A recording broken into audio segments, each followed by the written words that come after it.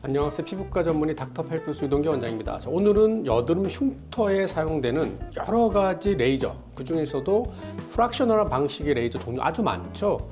이러한 fractional 레이저의 각각의 종류에 대해서 각각 어떤 특징이 있고 어떤 장단점이 있는지에 대해서 아주 명확하게 설명드리도록 하겠습니다 자, 일단 Fraxel은 하나의 상품명입니다. 자, Fraxel은 대표적인 fractional한 방식, 분해돼서 레이저가 나가는 레이저 중에 하나인데요. 이전에는 이런 Fraxel이 개발되기 전에는 CO2 레이저 또는 erbium YAG 레이저로 얼굴을 전체를 깎아냈어요. 상당히 downtime이 심하죠. 효과가 좋았을 경우에는 아주 드라마틱합니다. 한번 보실까요? 자, 치료 전, 자, 치료 후 아주 드라마틱하죠. 근데 문제는 만약에 부작용이 생겼을 경우에는 이 걷잡을 수 없을 정도로 큰 문제를 생길 수가 있어서 요즘엔 이렇게 얼굴 전체를 레이저로 깎아내는 그런 방식을 사용하지 않습니다. 자, 그 이후에 등장한 것이 바로 이런 프락셔널한 방식의 레이저인데요. 어떤 걸까요? 옆에 그림을 보시면 자, 레이저가 뭔가 비가 내리듯이 나가게 되죠. 자, 이게 무슨 의미일까요? 이전의 방식처럼 전체를 깎아내는 것이 아니라 비가 내리듯이 손상되는 부분과 정상적인 부분을 교차로 하게 되면 여러 가지 이점이 있습니다. 가장 큰 이점은 이전 방식과 비교해서 부작용이 상당히 많이 줄었다는 뜻인데요. 그 이유는 정상적인 부분에 있던 그런 세포들이 손상된 부분을 회복되는데 큰 도움을 주는 겁니다. 이 말을 다른 말로 표현하면 기존 방식과 다르게 조금 더 깊, 깊게 상처를 줘도 정상과 손상 부분이 교차되어 있기 때문에 부작용이 줄고 또 다른 말로 말하면 효과도 그렇게 나쁘지 않다는 뜻입니다. 자, 이러한 fractional한 방식의 레이저는 여러 가지가 있죠. 뭐 대표적인 게 CO2 프락셀, 어뷸 프락셀, 어뷸 글라스 계열의 프락셀도 있고요. 요즘에 pico Fraxel도 많이 사용하고 있죠. 그리고 마지막으로는 사실 레이저는 아니지만 이런 분해된 방식, fractional한 방식, 바늘이 여러 개 들어가는 Potenza, Virtue와 같은 고주파 바늘 방식도 있습니다. 자, 각각 하나씩 살펴보겠습니다. 자, 첫 번째는 CO2 Fraxel 레이저인데요. 자, CO2 레이저의 특징은 물에 대한 흡수도가 아주 높은 레이저입니다. 그래서 레이저를 쏘게 되면 레이저가 피부에 접촉하는 부분부터 밑에까지 일정하게 전체적으로 손상을 주게 됩니다. 대표적인 박피성 레이저로 레이저를 쏘고 나면 그림 보시겠습니까? 되게 구멍이 점점점 보이죠? 직접 표피부터 진피까지 다 파괴하는 거죠. 뭐 대표적인 게 Encore 레이저도 있을 수 있겠고 유펄스 레이저도 있고 여러 가지 종류가 있습니다. 즉 다른 fractional 레이저와 다르게 표피부터 진피를 모두 제거하기 때문에 뭔가 피부가 표면이 흉터 표면이 전반적으로 우글우글거릴 이런 경우에는 우리가 물리적으로 이런 흉살 자체를 없애는 것도 아주 중요합니다. 그래서 그러한 흉터에는 CO2 프락셀이 괜찮죠. 그리고 일부 레이저가 들어간 부분이 열 수축에 의해서 약간 쪼그라드는 효과도 있고 어, 다른 레이저보다 열 손상이 조금 많은 편이긴 합니다. 그렇기 때문에 효과적인 측면에서 본다면 CO2 프락셀 레이저는 다른 레이저보다 좀 효과가 좋은 특징이 있습니다. 다만 효과가 좋다는 말은 또 다른 말로 표현하면 다른 fractional 레이저에 비해서 부작용의 가능성도 크다는 거죠. 뭐 이거야 당연히 선생님께서 파워를 어떻게 사용할지, 각 빔과 빔 사이의 간격을 어떻게 할지에 대해서 달라지겠지만 다른 레이저에 비해서 대표적인 부작용은 염증 후 색소 침착, 그 부분이 까맣게 색소 침착이 되는 가능성이 큽니다. 가능성이 크다는 거지 이것들은 각각의 상태에 따라서 환자분의 피부 타입이 어떠한지에 따라 선생님들께서 잘 조절하시면 됩니다. 뭐 논문 한번 볼까요? 자, CO2 Fraxel을 했더니 여드름이 얼마나 좋아졌는지에 대한 논문을 찾아봤는데요. CO2 레이저를 반복적으로 했더니 좋아졌다. 뭐 사진으로 보시는 게 제일 좋겠죠? 자, 치료 전, 치료 후 하지만 논문에서 말하는 것처럼 다른 어떤 fractional 레이저에 비해서는 효과는 조금 좋을 수는 있지만 자칫 잘못하면 염증 후 색소 침착과 같은 부작용이 생길 수 있다. 다만 이러한 염증 후 색소 침착은 시간이 지나면 서서히 빠진다라고 보고하고 있습니다. 자, 두 번째 레이저는 CO2 Fraxel과 같은 종류인 박피성 레이저죠. erbium YAG Fraxel인데 원리는 거의 비슷합니다. 이런 erbium YAG 레이저도 물에 대한 흡수도가 높기 때문에 CO2랑 똑같이 표피부터 진피까지 그냥 큰 어떤 column 형식으로 아예 제거해서 없애버리는 겁니다. 하지만 차이점은 있습니다. erbium YAG 레이저는 CO2 레이저와 비교해서 옆에 한번 그림 보시겠습니까? 그 열 기둥 주변의 열 손상이 CO2보다는 좀 적은 특징이 있습니다. 자, 이 말을 또 다른 말로 표현하면 뭘까요? 같은 에너지를 비교할 수는 없겠지만 비슷하다고 사용했다는 가정하에 CO2 레이저보다는 효과가 약간 약합니다. 좀 부드럽게 나가죠.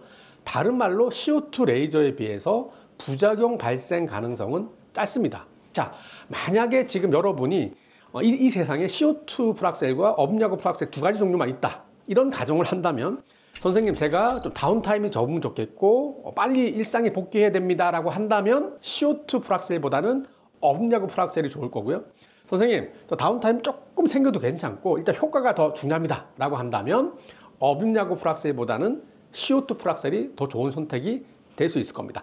다만 반드시 그렇다는 것이 아니라 어, 이런 특성이 그런 거니까 당연히 또 erbium YAG Fraxel도 에너지를 높여서 깊게 넣는다면 CO2만큼 좋을 수 있으니까 제가 전반적인 상황을 말씀드리는 겁니다. 자, erbium YAG fractional에 관련된 논문을 제가 찾아봤는데요. 어분야그 프락셀과 CO2 프락셀을 비교했던 논문입니다. 자, CO2 프락셀에 대해서 200명을 스터디했고 어분야그를 208명에 대해 스터디를 했습니다. 당연히 효과적인 측면에서는 CO2 프락셀이 어분야그 프락셀보다 효과적이었다고 보고하고 있고요. 자, 부작용 측면 중에 하나인 레이저 후 불금증을 비교했더니 역시 어분야그보다는 CO2 프락셀이 조금 더 길었다라고 말하고 있습니다. 다시 한 번 말씀드리지만 뭐가 좋다고 할 수는 없고 각각의 상황에 따라서 잘 사용하면 됩니다. 세 번째 fractional 레이저는 pico fractional한 레이저입니다. 뭐 대표적인 PicoPlus의 MLA 방식, PicoSure의 포커스 렌즈 같은 것을 사용하면 되죠. 옆에 그림 보시겠습니다. 역시 CO2랑 비슷하게 빛처럼 레이저가 내리지만 CO2나 업약에 비해서는 보다 더 촘촘하게 나가는 특징이 있습니다. 이것은 박피성은 아니고 비박피성이고요. CO2나 erbium YAG에 비해서는 아주 짜잔하게 잘게 들어가고 이것들에 비해서 손상을 주는 깊이가 상당히 얕습니다. 거의 표피 또는 상부 진피 이 부분만 되기 때문에 효과적인 측면에서는 전 개인적으로 CO2 업약에 비해서는 피코프락스이 조금 떨어진다라고 보고 있고 다만 각각의 상황에 따라서 나눴을 수 있죠. 예를 들어서 CO2를 통해서 어느 정도 깊은 층까지 자극을 하고 조금 얕은 층을 조금 촘촘하게 자극을 주고 싶다. 그러면 피코 프락셀을 사용해서 사용할 수가 있습니다. 이것을 만약에 우리가 복싱으로 친다면 커다란 훅, 어퍼컷을 치는 것은 CO2 프락셀이라 보고 또 필요할 경우에는 이렇게 잽을 칠 필요도 있죠. 그래서 짜잘하게 잽을 칠 경우에는 pico Fraxel을 사용할 수 있습니다. 뭐가 좋고 뭐가 나쁜 게 아닙니다. 각각의 상황에 따라 선생님들께서 fractional 레이저를 잘 조합해서 해주실 겁니다. 제가 약간 말이 옆으로 샜죠. 자, 어쨌거나 어, pico MLA는 열 손상이 거의 없고요. 옆에 조직 소견을 보시면 작은 구멍들이 보이시죠? 이것을 LIOB라고 하는 작은 구멍들이 기계적으로 구멍이 만들어진 거고 열 손상은 거의 없다고 보면 되기 때문에 기존의 방식의 CO2나 어분에 비해서 downtime이 아주 짧은 특징이 있습니다. 뭐 당연히 에너지를 좀 세게 쓰면 옆에 그림 보시겠습니까? 되게 빨갛게 피가 날수 있죠. 하지만 정말 드라마틱하게 downtime이 쭉쭉 줄어드는 특징이 있습니다. 다음 논문은 pico fractional 레이저를 이용한 여드름 흉터 치료에 대한 결과를 보여주는 건데요. 그래프를 보시면 점점점 좋아지는 것을 객관적으로 관찰할 수 있고요. 그래도 사진 보시는 게 좋겠죠? 자, 치료 전, 자, 치료 후 사진을 보시면 역시 rolling 흉터라든지 전반적인 흉터가 많이 개선된 것을 볼 수 있습니다. 자, 그런데 이번 논문에서의 재밌는 부분은 보통 우리가 pico Fraxel 쓸 때는 1064 파장대를 주로 쓰게 되는데 이 논문에서는 1064 파장대와 532 파장대를 동시에 사용했더니 효과가 더 좋았다라고 말하고 있고 사실 저도 일반적으로 쓰는 1064도 사용할 때도 있지만 환자의 상태에 따라서 532 picosecond, 1064 picosecond를 병합해서 사용하는 경우도 있습니다. 실제로도 좋은 결과를 경험하고 있고요. 자, 네 번째는 Fraxel로 불리는 erbium glass 계열의 레이저입니다. 이것은 150 나노미터 파장대 레이저인데요. 이것은 비박피성입니다. 그래서 뭔가 물리적으로 당장은 파괴시키지는 않고 옆에 조직 소견을 보시면 부드럽게 열 손상만 주는 겁니다. 이것을 다른 말로 표현하면 박피성 Fraxel에 비해서는 조금 더 부드러운 특징이 있죠. 그래서 downtime이 조금 적을 경우에는 이런 erbium glass 계열 Fraxel과 같은 레이저를 사용하면 됩니다. 즉 이러한 방식은 조금 얕은 흉터 또는 피부결 또는 모공 치료에는 좋죠. 그리고 일상생활에도 크게 불편함이 없습니다. 너무 프락셀을 받았다. 어분 글라스를 말하는 겁니다. 받았으면 뭐 당일날 세수해도 크게 문제없는 특징이 있습니다. 자 마지막으로 제가 조금 진료 사용하는 좋아하는 멀티니들 고주파죠. 바늘이 여러 개가 직접 들어가서 피부 안에 고주파가 열로 바뀌어서 손상을 줄 수 있습니다. 자, 아무리 CO2가 좋고 어분야가 깊게 들어간다고 할지라도 이것은 어쨌거나 빛이잖아요. 결국은 빛은 어떤 물질을 만나면 에너지가 급격하게 떨어집니다. 자, 이게 제, 제가 주로 쓰는 어, 버추얼 F인데 보일지 모르겠지만, 이게, 음, 보이려나?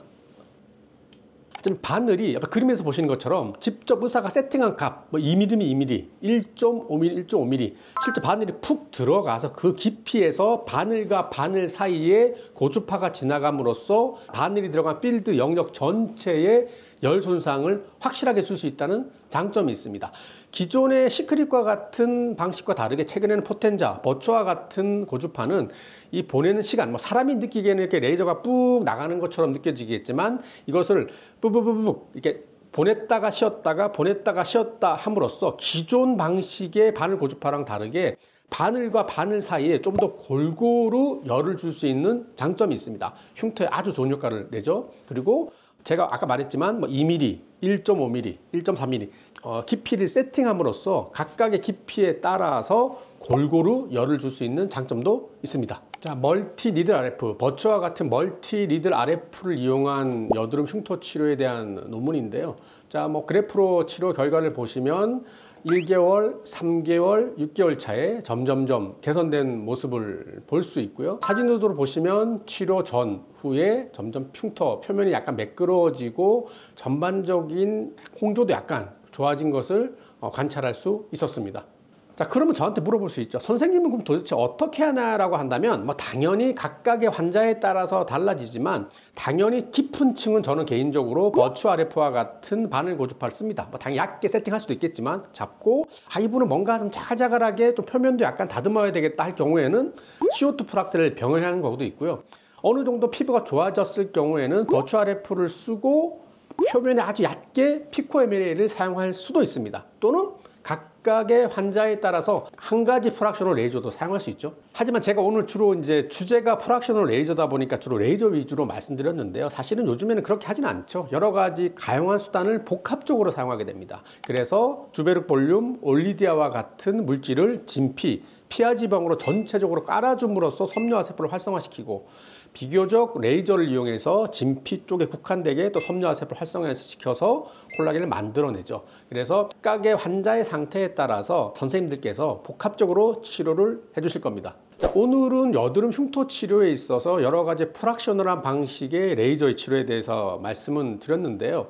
자, 들어보니까 되게 다양하죠. 자, 우리가 아까 말씀드렸지만 권투를 하든 야구를 하든 이게 홈런 치는 타자도 필요할 거고 조금 단타를 치는 타자도 필요할 거고 아주 발이 빠르면서 번트를 잘 치는 타자도 분명히 경기에 필요할 겁니다.